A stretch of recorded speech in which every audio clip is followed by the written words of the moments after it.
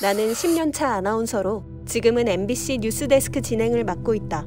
뉴스를 맡기 전에는 새벽 5시 라디오 생방송, 인터뷰와 녹음, 저녁 6시 정보 프로그램 생방송, 주말 스포츠 중계까지 매일 빠듯한 스케줄을 소화했다.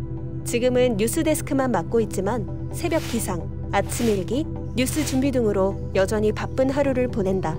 나는 유튜브 채널을 통해 일상을 공유하고 있는데 구독자들은 어떻게 하루에 그 많은 일을 다 할 수 있냐고 묻는다.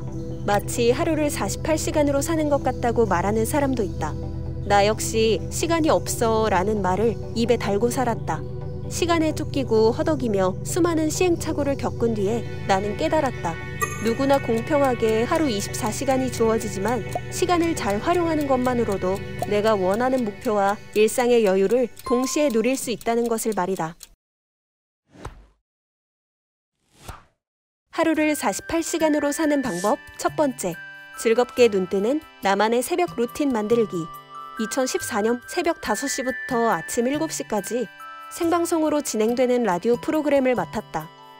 늦어도 새벽 4시에는 모든 준비를 마치고 집을 나서야 했다. 그런데 새벽에 일어나 하루를 시작한 이후부터 내 일상에는 변화가 생기기 시작했다. 일찍 일어나 규칙적으로 생활하다 보니 잠을 더 푹 잘 수 있었고 에너지가 충전되는 기분이었다. 어떤 방해도 받지 않으니 무언가에 온전히 몰입할 수 있었다.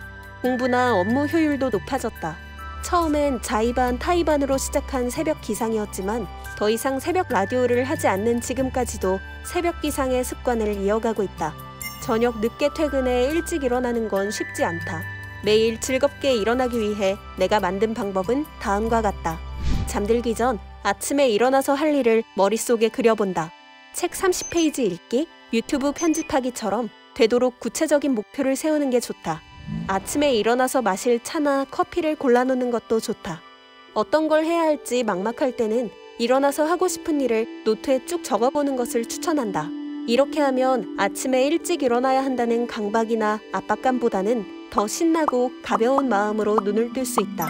하루를 48시간으로 사는 방법 두 번째. 하루를 30분 단위로 계획하기. 시간에 끌려가는 하루가 아닌 오롯이 나의 의지대로 나만의 하루를 완성하기 위해서는 철저한 계획에 의해 시간 관리를 해야 한다. 가장 먼저 꼭 해야 하는 스케줄, 시간 이동이나 변경이 불가능한 일정을 적는다. 그 다음 나머지 시간을 중심으로 계획을 세운다. 신문 읽기라면 어떤 신문을 언제까지 읽을지 정하고 공부의 경우 큰 주제들을 정리한 후 시간을 배분한다. 수시로 진행 상황을 체크하며 제대로 한 일은 동그라미로 표시하거나 줄을 긋고 완벽하게 끝내지 못한 일들은 세모로 표시한다. 이렇게 나의 일과를 30분 단위로 정리하면 시간을 어떻게 활용하고 있는지 한눈에 파악할 수 있고 자투리 시간까지 알차게 쓸 수 있다. 하루를 48시간으로 사는 방법 세 번째. 틈새 휴식으로 몸과 마음 충전하기. 매일 목표하고 계획한 대로 살기 위해서는 철저한 시간 관리만큼이나 체력 관리, 마음 관리도 중요하다. 틈새 휴식으로 몸과 마음에 쉼을 주고 에너지를 충전할 수 있는 방법을 찾아야 한다. 하늘 덕후인 나는 멍하니 하늘을 보며 여유를 찾는다. 가만히 앉아서 멍 때리는 시간만으로도 충분히 도움이 된다. 잘했어. 애썼어. 그만하면 잘하고 있어. 회사 앞 벤치에 앉아서 셀프 대화도 자주 한다. 나 자신을 다독이는 것만으로도 굳었던 마음이 풀어진다.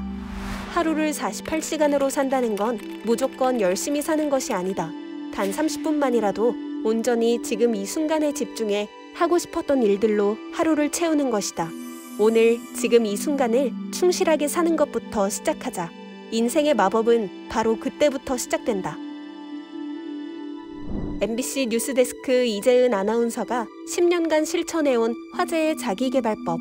하루를 48시간으로 사는 마법. 이 콘텐츠가 도움이 되었다면 구독과 좋아요를 눌러주세요.